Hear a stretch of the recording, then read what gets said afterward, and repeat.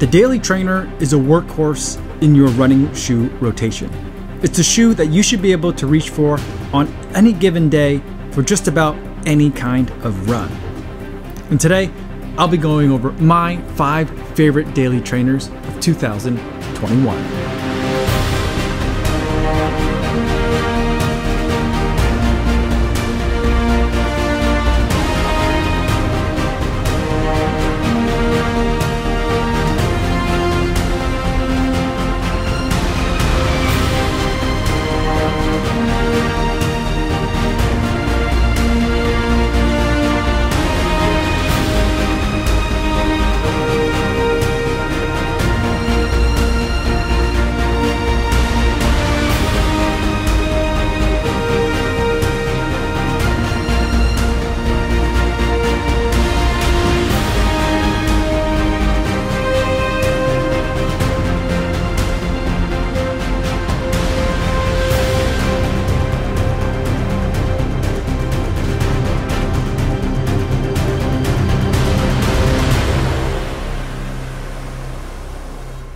Yo, what's going on everybody? My name is Kofuzi and I am a non-elite runner who has been able to try a bunch of shoes and this year I want to talk about my five favorite daily trainers before I do that, I do want to go over some disclosures. Some of these shoes were shoes that were sent to me for the purpose of review, and some of these shoes I purchased myself. However, regardless of how a shoe got to me, no one is paying me to make this video or to include their shoe on this list, and no one's gonna get a chance to preview any of my footage or my thoughts before you guys get a chance to see this video on YouTube. So, with that disclosure out of the way, let's talk about my five favorite daily trainers of 2021. First, let's start with my favorite, the Novablast 2. This is a shoe that I think is absolutely fantastic to run in. I can recommend it to just about anyone, no matter their skill level. And that's because it has a wonderful FlyteFoam Blast midsole. It's a spongy material that compresses nicely when your foot hits the ground, but it also decompresses nicely as well, so that way it has a nice snappy ride. For 2021, it underwent only very minor changes from last year, where it seemed like the only real complaint that people had was that the shoe was a bit too squishy, maybe a little bit on the squirrely side. So what they did this year is they added two millimeters stack height in the forefoot and changed the shape of the foam a little bit while keeping the ultimate formulation of the foam the same. And what that change in shape and thickness did was it made it so it felt a little bit less squirrely underfoot. And I think that it has been an improvement for most of the people out there so that it can keep that springy, spongy, comfortable sensation while still being a lively shoe that you could use for your easy runs and for any runs where you might need to pick up the pace. I think they also made some welcome improvements to the upper. Last year's upper felt to me a little bit loose, almost borderline sloppy, but they've tightened things up a bit without making it snug and too tight. So the fit is a lot better this year. A lot of the extra stuff from the upper in 2020 is gone for 2021. So what Asics managed to do was take a phenomenal rookie year shoe and improve on it, which is a rare accomplishment in pretty much any industry, but especially in the running shoe industry. And so I'm very impressed with the, what they were able to do with the Novablast 2, and it takes my top spot for my favorite daily trainer of the year. Next, let's talk about the Mach 4, which comes in really close right behind it. It's an amazing shoe that I've also been enjoying for many of the same reasons. It's got a nice squishy feeling when your foot hits the ground, but it also still feels like a speedy shoe. It's a shoe that I was able to take on short runs and long runs as well. And anytime I had some changes of pace where I had to pick it up a little bit, the Mach 4 was definitely eager and willing to go a little bit faster. The shoe came with a lot of hype, but for me, it definitely lived up to it. It's a shoe that I've been seeing everywhere on the feet of a lot of runners out there, and I certainly understand why. It's a shoe that I really enjoyed this year for just about any kind of run, and that's why it's my number two favorite daily trainer of 2021. For number three, I'm going to go with another shoe that I had not tried before this year, and that is the New Balance 880 version 11. This shoe is a bit of a sleeper. It looks a little bit unassuming. It's not flashy. It just looks like a regular running shoe. And I think that it performs like a regular running shoe, which is what you want your daily trainers to do.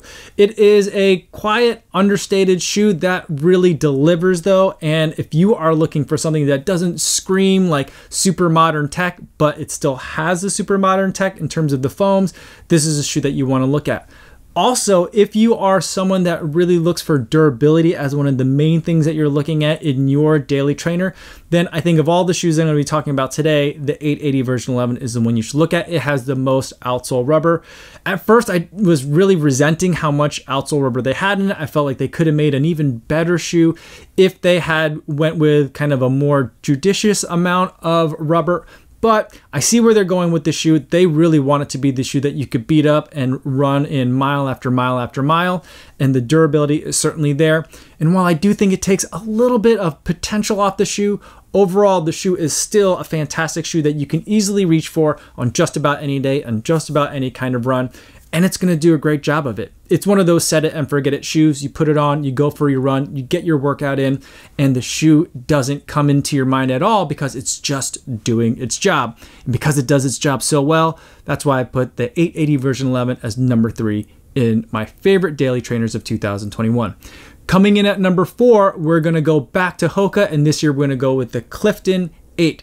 Now, I think that the Clifton 8 is the best Clifton that Hoka has ever made caveat there is that I never tried the original Clifton 1. I feel like people that ran in the original Clifton 1, they're kind of ruined for all the other Cliftons that came after it. There's just something about that shoe. It has like a cult following.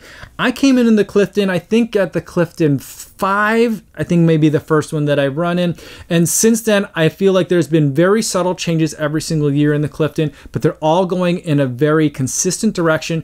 And what they're doing is they're kind of streamlining the shoe, taking out a lot of the things that aren't necessary, distilling the Clifton into what I think is a signature Hoka experience. I think what you're getting is a lot of comfort in the shoe. You're getting that rocker sensation in the forefoot so that the shoe rolls really easily, even at slower paces or even when you're fatigued.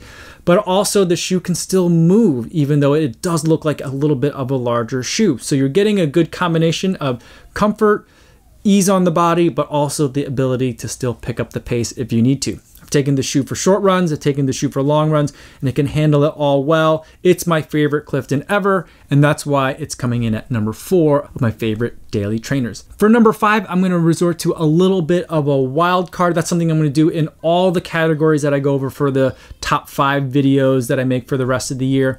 And this year's wild card is gonna be the Nike Vomero 16. And the reason why I'm calling it a wild card is in previous years, I put the Vomero in the max cushion category, but this year, I don't think it really fits there. I think it belongs right here in the daily trainer category. And that's because of the materials in the midsole. They're using the same new, larger Zoom Air pocket that you see in the Pegasus 38, but instead of the React foam that's in the Peg 38, this year in the Vomero 16, you've got a combination of ZoomX foam and SR-02. Now, what is that SR-02 foam? It's a foam that looks and compresses and feels to me a lot like the Cushlon that used to be the foam that was in previous older generations of the Pegasus, the versions of the Pegasus that I fell in love with. And so it's a familiar foam to me that I think works really well in combination with the ZoomX and with that new bigger Zoom Air Pocket. And ultimately, the ride that I'm getting from it is a daily trainer ride. It's something that's comfortable, but doesn't feel max cushion comfortable. It's something that I feel like I could pick up the pace in easily and doesn't feel like it's out of place when I'm asking it to do that. Now, it does have some kind of max cushion type elements. It's got a really puffy tongue, and the heel collar is just nothing but foam that feels like memory foam in there. And that part I don't love. I don't think puffiness personally equates to comfort in my mind, but that's kind of like the trend in a lot of the max cushion shoes. So what I end up thinking about the Vomero 16 is that it's more of like a a plush version of the Pegasus. Like you got the Pegasus, you got the Pegasus Turbo, you got the Pegasus Trail, and then with the Vomero, you've got like the Pegasus Plush or the Grand Touring version. It's just a little bit more comfortable, but in its essence, I think it's a daily trainer and it has that Pegasus familiarity, a shoe that I run in for many, many years over many, many miles.